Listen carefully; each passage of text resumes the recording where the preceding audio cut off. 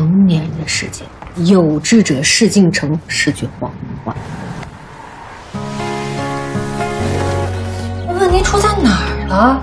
你没意思还能死去？那就应该把日子往有意思上活呀！我们在彼此信任的前提下，取得了一点点成绩。如果您喜欢本期视频，请关注、点赞并分享，下载 App 解锁更多功能。我们下期再见哦！